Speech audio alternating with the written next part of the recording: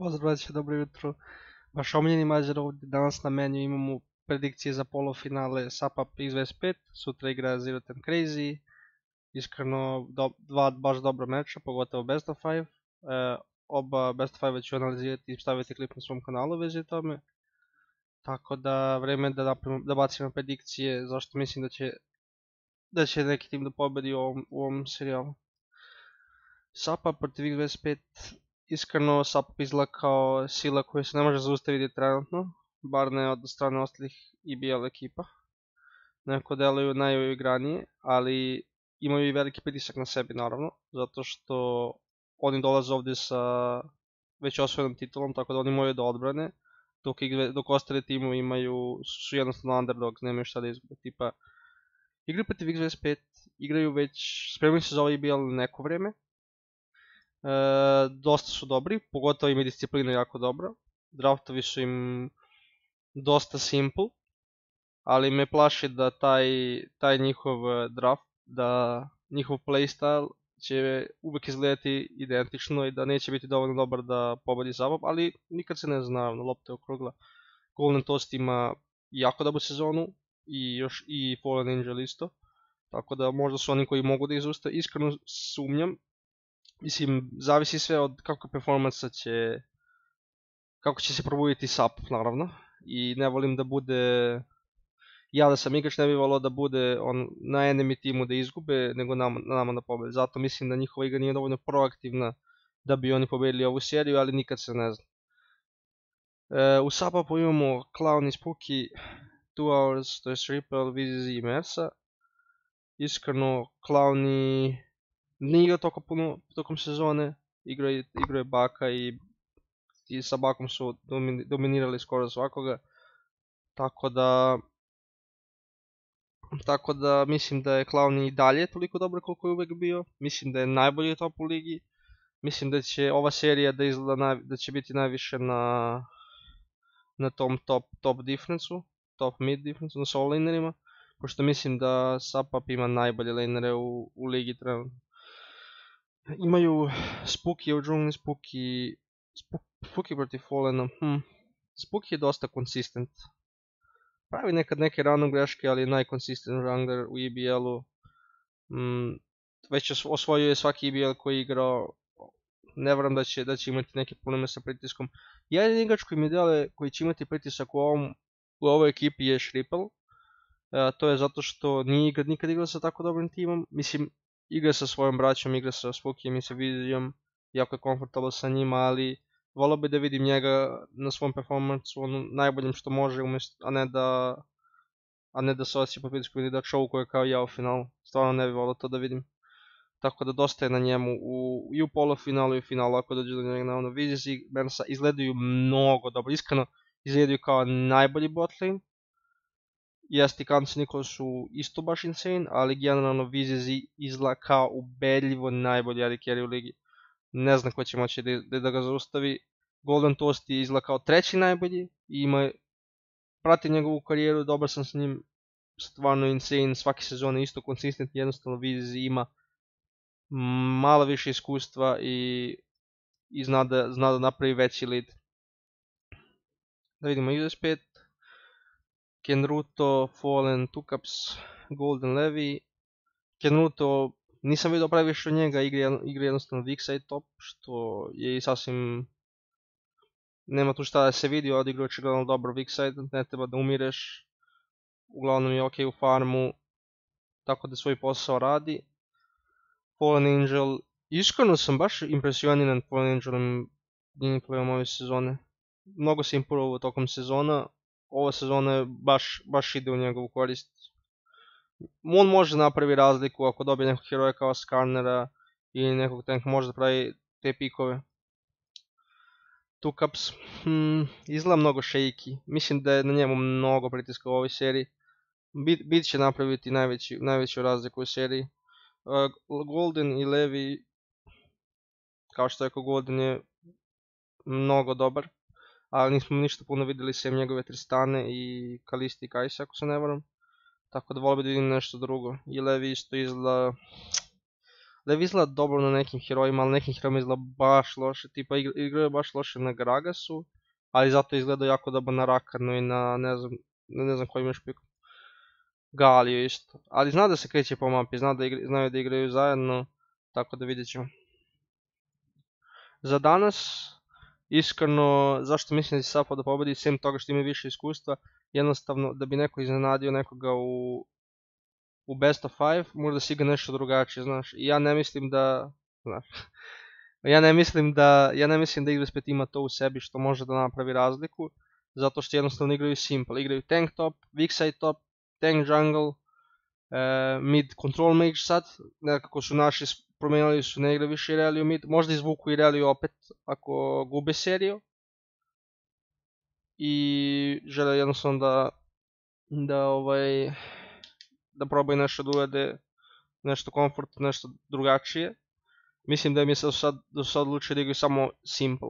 Znači tank top, tank jungle, engaging i control mage mid kao Korki, Azir, Oriana. Možda ta Serafin, ne znam. Oba tima nisu pokazali neki neki value na Serafin koja je top tier pick trenutno, ne znam zašto.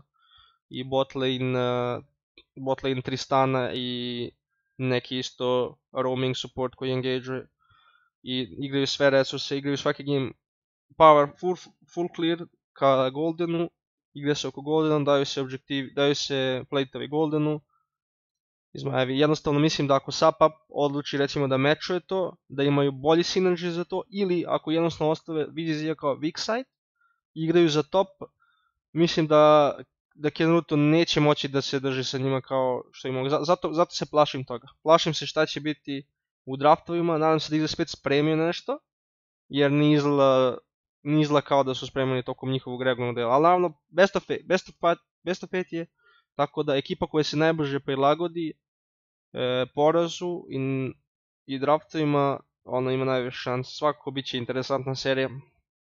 E, prediktujem 3-1 za Sapap. 3-1, da. Drugi meč Zero Ten Crazy sutra. Um, s jedne strane imamo Kelim, Rizaki, Von, ok, Mate, Kantos, Nikola. Kelim iskreno nije izgledao toliko dobro, sem na Renektonu, nisam vidio puno toga njega, sem što je dominirao sa GPM u 1-1, tako da to je vjerojatno pik koji isto možda pull off je, znam da je mlad, ima potencijala. Mm, ne znam, mislim, nisam siguran kakav će on biti ako dođe do finala, ali u ovoj seriji će imati veliki pritisak na sebi, ja bih rekao. Ryuzaki teško mi je da pričam o Ryuzaki zašto mislim da je možda čak i mislim pitanje je da li on najbolji jungler. On Puki su trenutno izgledaju najbolje imaju najviše iskustva.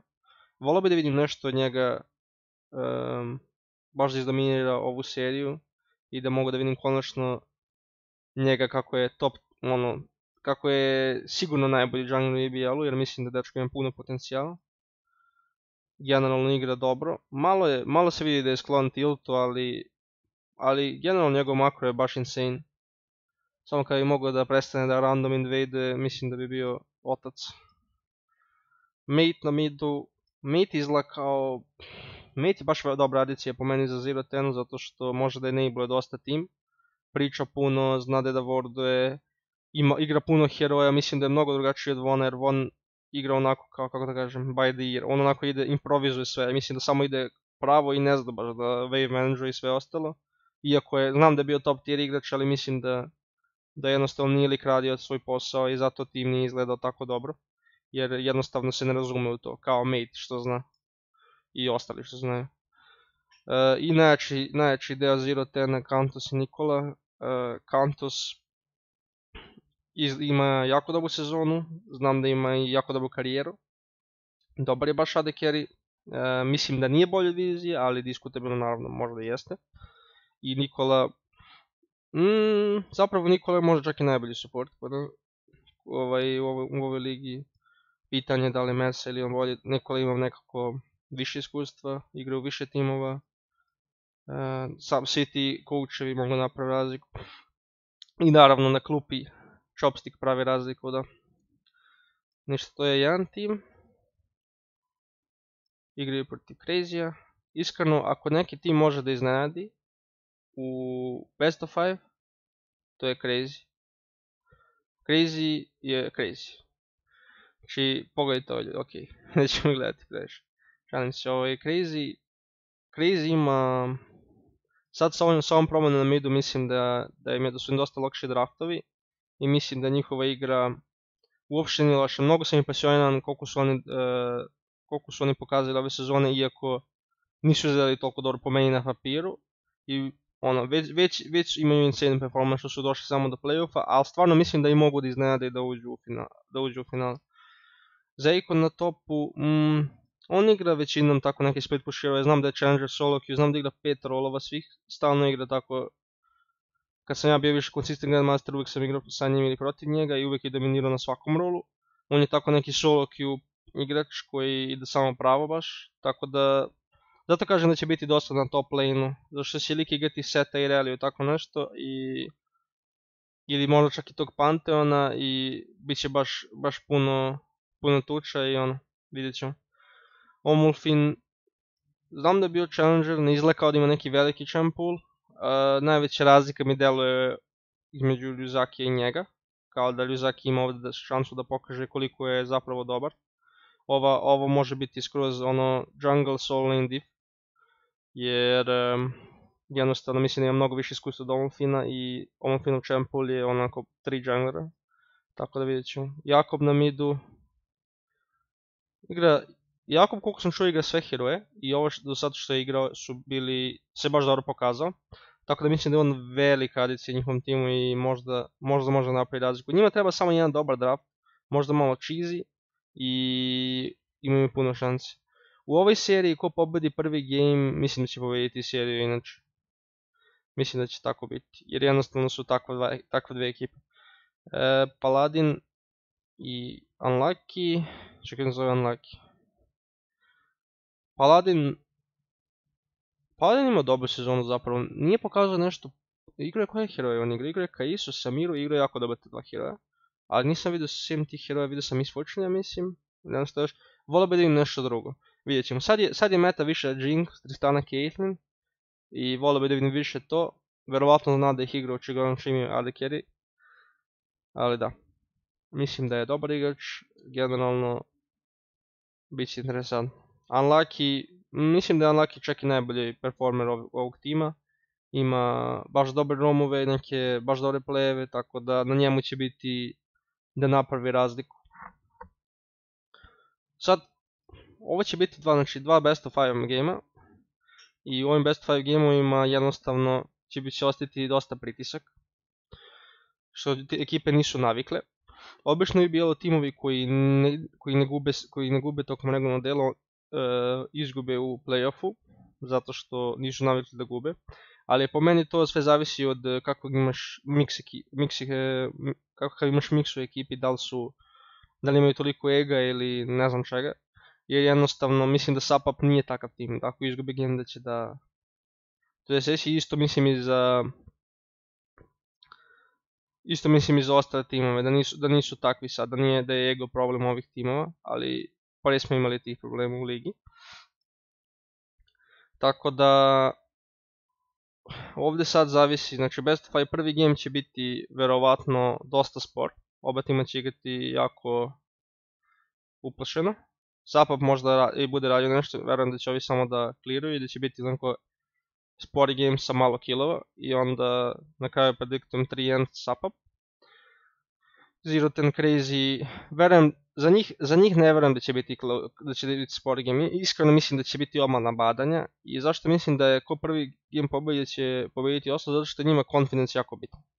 Kaelin mi izgleda kao da nema baš samopouzdanja i Crazy mi deluje kao da ako im daš malo, ako im daš malo uzeti ti cijelu ruku, tako da mi deluje kao da Crazy ako krene da grize da će da samo da, da ih ubaci u mašini da pobede, ali opet to je samo moje mišljenje. Zero Ten izgleda jače naravno, ja samo, samo kažem ko pobedi prvi da mislim da će da osvoji ostalo.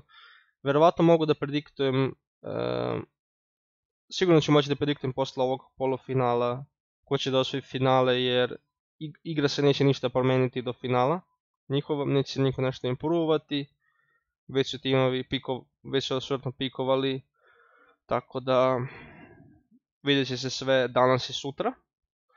Tako da eto, Sapap X25, Sapap 3.1, Zero Ten Crazy, kažem zavisi od tog prvog gema, ali da kažemo isto 3-1 za... I ne, hoću kažem 3-0 za, za Zero Ten, ne, znam kako drugačije to, to da kažem. Iako mislim da Crazy može da pobedi, da ima više šanse nego idu spet od Sapap. Jednostavno mislim da su ova dva tima, sve zavisi od od tog, od tog tilta. Mislim da imaju oba tima nekih problema sa pritiskom i jednostavno će prvi game odneti veliki značaj. Ništa, to je to, kratak vi... Kratak, 15 minut, dobro da, sam, da nisam subotice, treba bi, treba bi kraće.